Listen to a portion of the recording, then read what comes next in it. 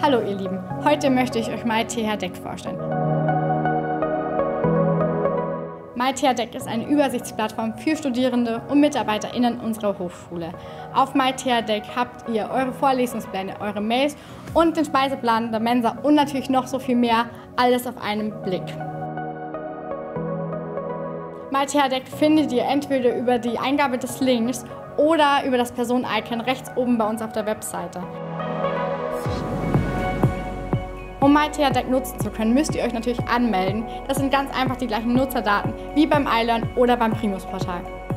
Einmal angemeldet erscheint MyTH-Deck nun auch als zusätzlicher Reiter im Menü bei euch auf der Webseite. Und nun zu MyTH-Deck. Oben auf der Seite findet ihr immer die aktuellsten Neuigkeiten und werdet auch an wichtige Termine wie zum Beispiel die Prüfungsanmeldung oder die Rückmeldung erinnert. Direkt darunter findet ihr auch schon die Hauptattraktion vom MyTR Deck, die Kacheln. Wenn ihr auf eine beliebige Kachel klickt, zum Beispiel Prüfungstermine, dann kommt ihr natürlich auch auf die dazugehörige Seite bei uns auf der Homepage. Die Kacheln könnt ihr natürlich nach eurem Belieben anordnen und verschieben, indem ihr auf das kleine Rädchen hier oben klickt. Wenn ihr mit eurer Auswahl zufrieden seid und sie speichern wollt, dann klickt ihr auch auf das Rädchen.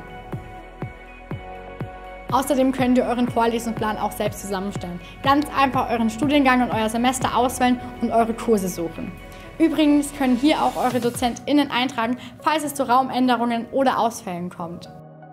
An den Farben erkennt ihr, um welche Art von Kurs es sich handelt, ob virtuell, Übung oder Vorlesung. Natürlich müsst ihr für MyTR Deck nicht immer euren Laptop rumschleppen, sondern es funktioniert auch wunderbar gut auf eurem Smartphone.